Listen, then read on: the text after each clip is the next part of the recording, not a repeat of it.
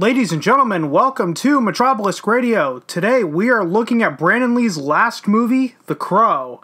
Now, it's no secret that the success of Tim Burton's Batman from 1989 spawned a lot of copycats shortly after that release, but it also brought these types of properties to light as well. So the question on the table is does this movie work as its own entity, or is it too similar to Tim Burton's Batman for its own good? Now, before we get started, make sure to subscribe on whatever platform you're watching this on to stay notified of new uploads, and also subscribe to the official blog, metrobeliskradio.blogspot.com, to get the corresponding write up to this video along with the PDFs of my presentation files. Anyway, guys, let's get right into The Crow. As always with these retrospectives, we always start off with the creative team. Now, this movie was based on a comic by the same name created by James O'Barr.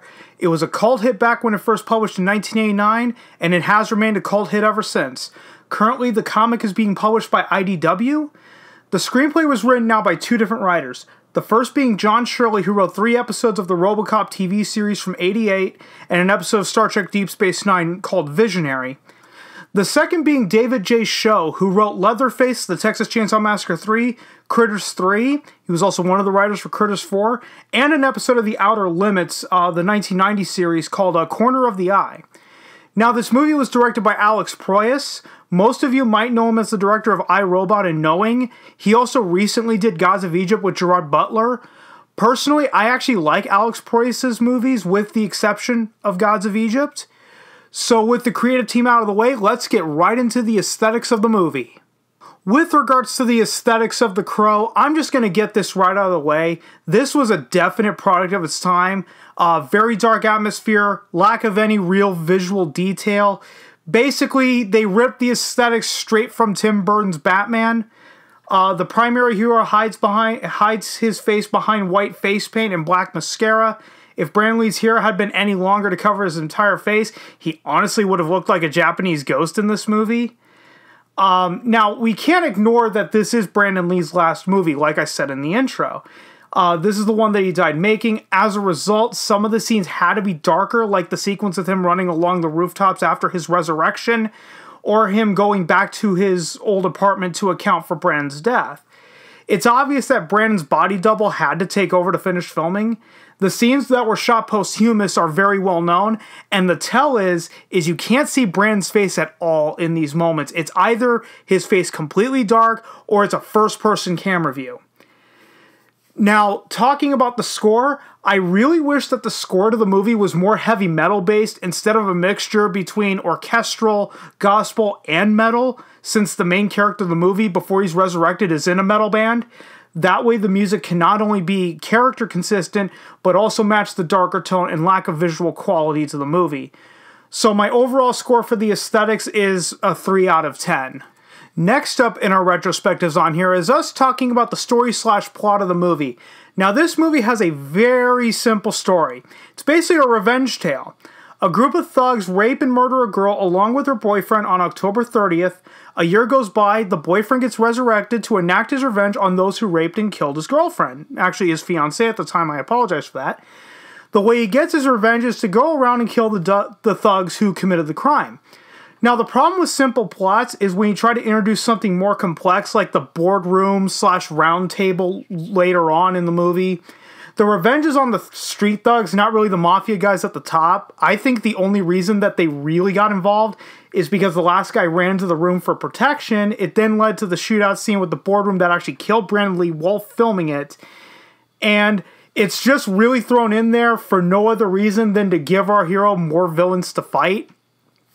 Again, it's a simple story, but I think it's really effective for this type of movie. So my final overall score for it is a 7 out of 10. It's no Shakespeare, it's no Hamlet, but it's mindless fun. Now we move on to our character analysis of this retrospective. So first up, we have Eric Draven, who is our hero of the story. That that's the Crow, um, and then Shelley, who is Eric's fiance. Um, she's only really brought up in flashbacks and in the very beginning of the movie when you see the rape and killing of her. Then there's Sarah, who's the girl that Eric and Shelley were taking care of. Um, she does come back and help Eric Draven after his resurrection.